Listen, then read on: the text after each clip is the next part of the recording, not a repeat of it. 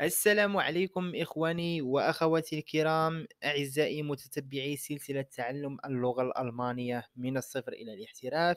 درسنا اليوم الدرس الثالث عشر من هذه السلسلة وهو يتمحور حول المفعول به أو ما يصطلح عليه أيضا بحالة النصب باللغة الألمانية وهو der Dativ.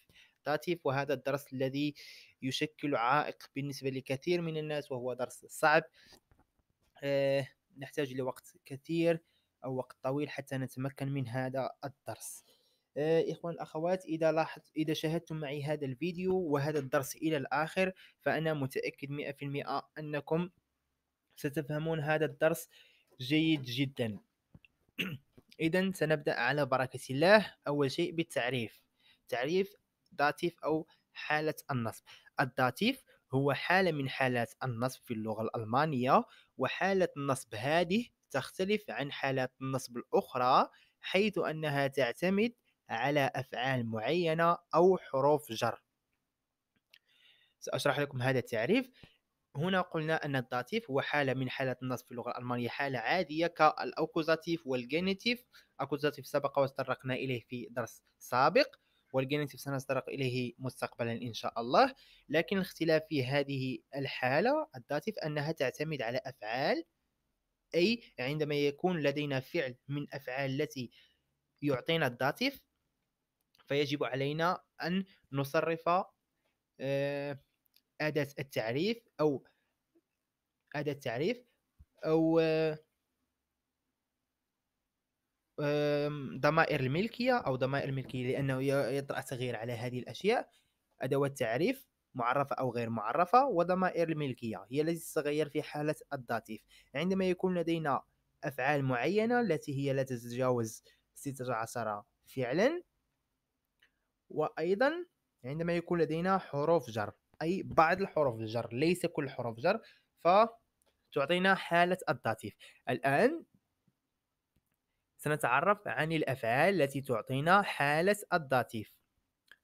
sagen sagen وهو يقول geben وهو يعطي gehen يذهب helfen يساعد danken يشكر antworten يجيب gehören gehören وهي مثال يمتلك لكن عندما نقول هذا الشيء لهذا الشخص لا يمتلك آه، لا أعرف باللغة العربية بالضبط لكنه عندما تقول هذا شيء لفلان.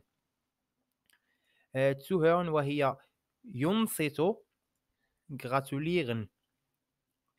zuhören هي ينصت لكن تنصت بتركيز. عندما يكون الأستاذ يشرح الدرس وأنت مركز معه وتسمع فهذه تعني zuhören وليس hören كما آه، تسمع أي شيء عندما تكون موسيقى أو أي شيء تكون تسمع وأنت لست مركز معها. هذا الفعل zuhören وهي تكون مركز مع الشيء gratulieren وهي يهنئ passen وهي يت... نستطيع أن نقول يتماشى أو شيء بهذا القبيل. عندما تقول عندما آه، شخص يقوم بتقييس سروال أو أي شيء تسأله هل هذا الشيء آه، هل هو يناسب؟ يناسب. يناسب stehen أيضا يناسب كما لاحظتم هنا S عندما تكون لدينا S بعدها T فننطقها بش بشين. وعندما تكون لدينا أيضا S وموراها بعدها P مثال sprechen فأيضا تعطينا تقرأ شين وليس S. stehen schmecken schmecken وهي يتذوق أو نستطيع أن نقول يتذوق تذوق هذا الشيء أو عندما يكون لذيذ. عندما تقول هل هذا الشيء آه، لذيذ بالنسبة إليك؟ أو آه، مثال كهذا المثال. لا أتقن اللغة العربية أعتذر. leidtun وهو آه، شيء. leidtun عندما يتألم يتألم. wehtun هو شيء فيك مثال جرح أو أي شيء ويعطيك صداع. فهذه هي wehtun. fehlen وهو ينقص ينقصك شيء schaden وهو آه، مثال يخرب. نستطيع أن نقول له مثال تخريب أو يخرب. ولدينا folgen وهو يتبع. folgen هو يتبع. إذا هادو كانوا هما الأفعال التي تعطينا حالة ال Dativ كما قلنا أفعال وحروف جر. الآن سنشاهد معا الحروف التي تعطينا ال Dativ حروف الجر التي تعطينا ال Dativ. ab وهي ابتداء بالنسبة للناس اللي عندهم مشكل في حروف الجر ففي الفيديو السابق تطرقنا فقط إلى حروف الجر وأعطيت كثير من حروف الجر. لأن هذه الحروف هنا الثمانية أو تسعة فهي فقط مع ال Dativ التي تعطينا ال Dativ. ab هي ابتداء aus هي من bei عند mit مع nach إلى seit منذ فون أيضا من و zu هي إلى. هنا كتبتها مرتين. zu هي إلى. هنا كتبت لكم بعض الحروف الجر لأن يوجد حروف جر تعطينا حالة نصب ال Dativ وفي بعض الأحيان أيضا تعطينا ال Akkusativ. هنا الحالات التي تعطينا فيها ال Dativ هي إذا فقط إذا كان إذا كانت الجملة تعبر عن حالة وليس وجهة مثال هنا in فبعض الناس يسمعون in ويقولون دائما تعطينا Dativ مثال in ich bin in der Schule أنا في المدرسة.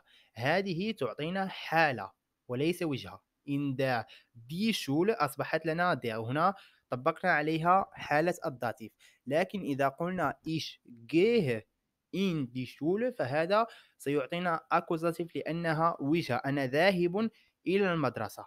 هذه ليست حالة ولكن ذاهب هي في نفس الوقت فهي حالة لكن تعبر عن وجهة. أنا ذاهب إلى المدرسة. إذا هما هذو آه، حروف الجر أوف وهي على أن وهي أيضا تعني على. لكن مع الأماكن التي توجد بها ماء أو آه، نقول أيضا لا تكون لا تكون على الشيء فوقه بل بجانبه. أو في شيء كبير مكان كبير ليس مغلوق. مثال نقول أم بانهوف. ich bin am Bahnhof هي أنا في محطة القطار. ليس محطة القطار فهي ليس مكان مغلوق. هي تقريبا مثال إن لكن إن أنا في يكون مكان مغلوق وأن لا يكون مثال مغلوق لا يكون مكان مغلوق. أنت وهي تحت هنت وهي خلف نبن وهي بجانب über هي فوق لكن ليس بتماس هي تقريبا über وأوف هما تقريبا مماثلان لكن أوف نقولها عندما يكون الشيء فوق شيء محطوط عليه مثال الحاسوب على الطاولة ولدينا أوبا وهي فوق آه، مثال المصباح فوق رأسي. عندما تكون في الغرفة ويكون المصباح تماما فوق الطاولة فهو فوقها لكن ليس عليها. هنا على الشيء وهنا فوقه. zwischen وهي بين وفوق هي من من أو قبل تعطينا أيضا قبل أو من إذا هنا سأعطيكم حالة الداتيف بالنسبة للآرتيكل كما قلت لكم للأداة أداة التعريف.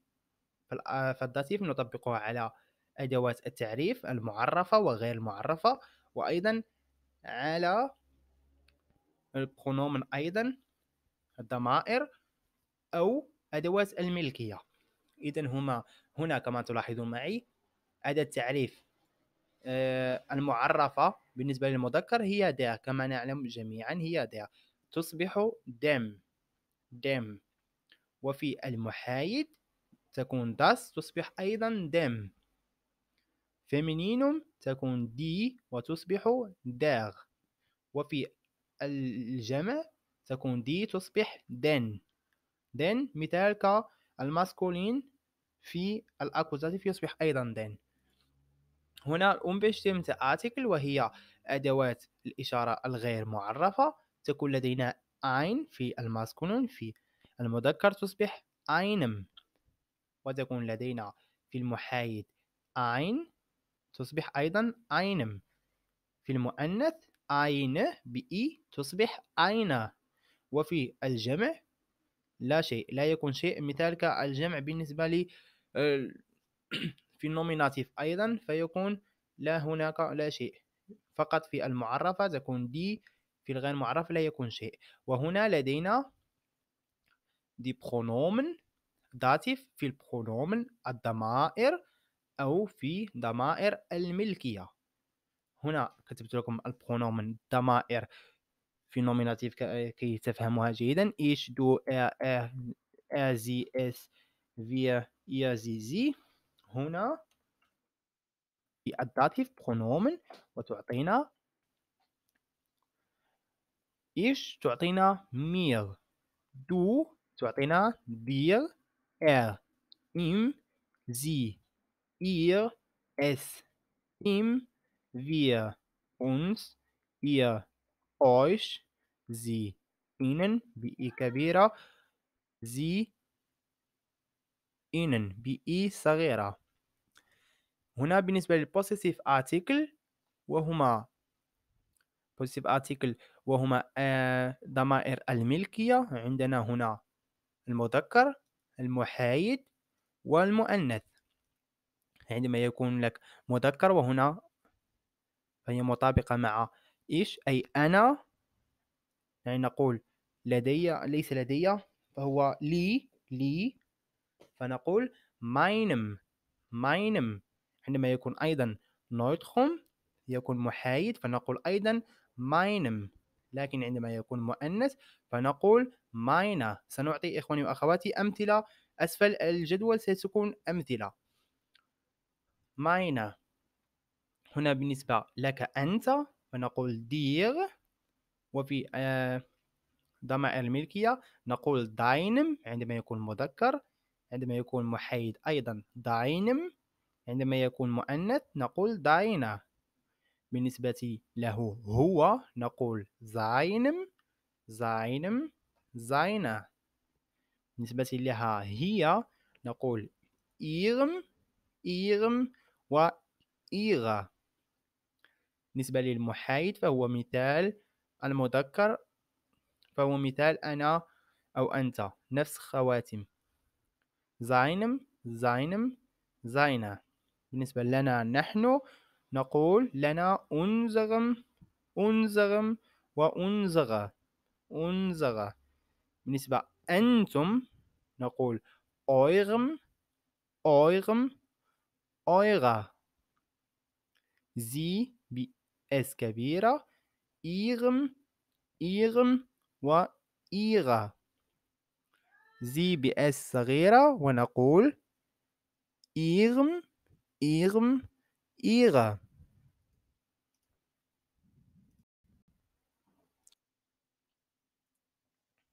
كما قلنا إيغم إيغم إيغا الآن سنعطي أمثلة على هذه الأشياء. سنعطي هنا ب prepositionen وبالأفعال. Prepositionen oder mit Verben في الدرس السابق فأعطينا كثير من الأمثلة بالنسبة لأدوات الجر. هنا أعطيت فقط الكثير ولكن فقط القليل. الكثير هنا بالأفعال لأن في الدرس السابق أعطيت الكثير من الأمثلة بأدوات الجر. يمكنكم الاطلاع على الدرس السابق. هنا Beispiel Hallo wie geht es dir Hallo wie geht es dir كما قلنا gehen يعطينا أيضا ال Dativ. wie geht es dir Hi mir geht es gut mir geht es gut هنا كما قلنا بفعل helfen والذي يعطينا أيضا Dativ mir helfen kannst du mir helfen هنا leider nicht للأسف لا. mein Rücken tut mir weh وهنا عندنا فعل wehtun wehtun وهو آه، يعطيك صداع أو يؤلمك وهو يؤلم يؤلم. wehtun mein Rücken tut mir weh okay danke dir trotzdem شكرا لك. danken ويعطينا أيضا كما قلنا ال Dativ danke dir هنا Entschuldigung gehört ihnen das والفعل gehören وكما قلت لكم لا أعرفه باللغة العربية أعتذر وهو باللغة الألمانية أنتم ستفهمونه. gehört Ihnen das تعني هل هذا الشيء لكم؟ هل هذا لك؟ هناك فعل باللغة العربية لكنني نسيته.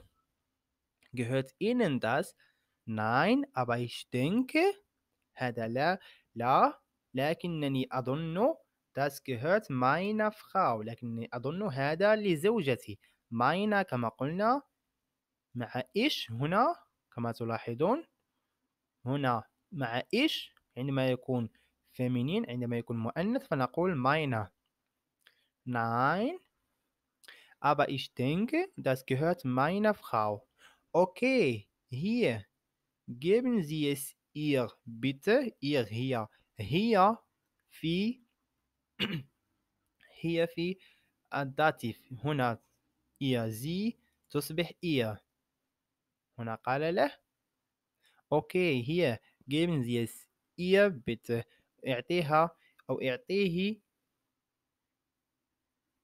اعطي هذا الشيء لها. Du alles bei dir كما قلنا في حرف الجر bei Hast du alles bei dir Nein fällt Nein mir fällt noch etwas fehlen فعل fehlen والذي يعطينا أيضا الداتيف mir fehlt noch etwas أنا ينقصني شيء هنا قال له هل لديك كل شيء قال لا بل ينقصني شيء آخر هنا ich habe noch keine Antwort von dir bekommen von كما قلنا أيضا حرف جر von dir bekommen أنا لم ليس لدي جواب من عندك. أنا لم أحصل على جواب من عندك. هنا سأله kannst du mir bitte antworten هل تستطيع أن تجيبني؟ كما قلنا antworten أيضا يعطينا ال Dativ. kannst du mir bitte antworten هنا wem gehört das Auto? Wem gehört das Auto? لمن هذه السيارة؟ Gehören لمن هذه السيارة؟ Wer هنا ويكون wer. Wer هي من عندما تكون في ال Nominativ و wen عندما تكون في ال Akkusativ و wem عندما تكون في ال Dativ هنا فعل gehören هو الذي أجبرنا على على كتابتها أو نطقها ب على آه، حالة ال Dativ Wem gehört das Auto? Das Auto gehört meinem Vater. Vater كما قلنا فهو مذكر والمذكر معي أنا أقول meinem meinem Vater. هنا wo ist mein Handy wo ist mein Handy هنا الجواب dein Handy liegt auf dem Tisch dein Handy liegt auf dem Tisch هاتفك موضوع على الطاولة. على الطاولة. auf dem Tisch hören Sie mir zu Mir zu? هل تنصت إلي؟ هل تنصت إلي؟ Ja, ich höre Ihnen zu.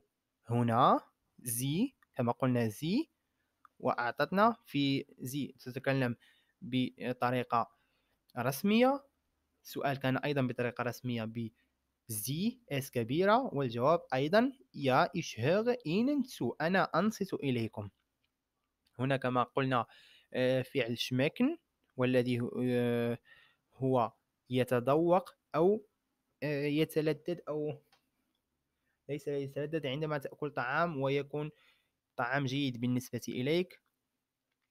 فنقول نعم هل هذا لذيذ بالنسبة إليك؟ شمكت دياتاس هل هذا الطعام لذيذ؟ هل تلذذت في أكل هذا الطعام أو شيء؟ آه ستفهمون بالضبط ما هو هذا الفعل. لأنني لا أعرفه 100% باللغة العربية لكن يعطي هذا المعنى هل هو لذيذ بالنسبة لك أو شيء آه بنين بنين بنين باللغة بالدارجة المغربية بنين schmeckt dir das? Nein, mir schmeckt das andere besser. هنا قال له هل هذا يعجبك هذا الطعام أو هل هو آه لذيذ؟ قال له لا لا لكن الآخر ألد. الآخر هو لذيذ بالنسبة إلي أحسن أو أكثر. هنا قال sollst mir folgen يجب عليك اتباعي. كما قلنا فولغن أيضا يعطينا الداتيف فولغن تزولس مية فولغن إذا إخواني وأخواتي كان هذا هو درس اليوم. كما لاحظتم آه، أعطينا تعريف. شامل حول ال Dativ ما هو ال Dativ وقلنا فهو يعتمد على أفعال معينة أو وحروف جر. هنا الأفعال التي تعطينا ال Dativ فهو اثنان أربعة ستة ثمانية عشرة اثناشر أربعة عشر سبعة عشر. فعل. يكون هناك أيضا أفعال قليلة جدا. هذه الأفعال التي تستعمل دائما مع ال Dativ هناك أفعال أخرى. لكن قليلة جدا ولا تستعمل في اللغة الألمانية. لهذا لم أريد أن أكتبها جميعها لأنها ستكون فقط طويلة ولا لا تفيد. هنا حروف الجر التي تعطينا ال Dativ. هذه الحروف كما قلت لكم فهي دائما عندما تروها دائما Dativ. هنا بعض الحروف التي تعطينا في بعض الأحيان أيضا ال Akkusativ كما قلت لكم إذا كانت وجهة ich gehe in die Schule أنا متجه إلى المدرسة. فهذه تعني وجهة وليس حالة. حالة هي أنا في المدرسة لا يكون معها أي وجهة أو شيء من الأشياء. هنا أعطينا ال Artikel أدوات التعريف المعرفة وغير المعرفة في ال Dativ وهنا أعطينا ضمائر وضمائر الملكية في في الداتيف أيضا. وهنا أعطينا بعض الأمثلة. إذا كان هذا هو درسنا اليوم إخواني وأخواتي. سنلتقي في درس آه، درس مقبل إن شاء الله. في درس مقبل سنلتقي مرة أخرى بدرس مهم من دروس آه، سلسلة تعلم اللغة الألمانية من الصفر إلى الاحتراف. أدعوكم إخواني وأخواتي إلى الاشتراك في القناة آه، لتشجعونا على إعطاء الكثير من الدروس. والسلام عليكم ورحمة الله وبركاته.